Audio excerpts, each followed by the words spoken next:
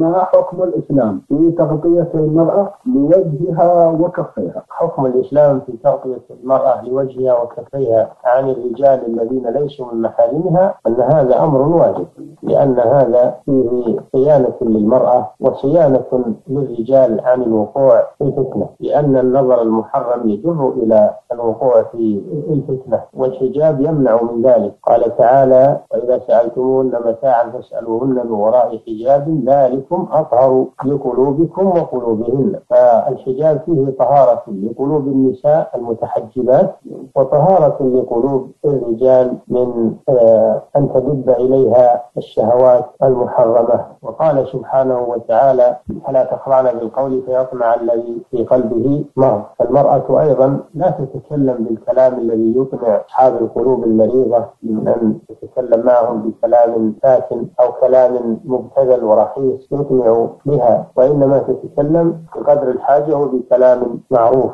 وقلنا قولا معروفا. نعم. جزاكم الله خيرا وأحسن إليكم.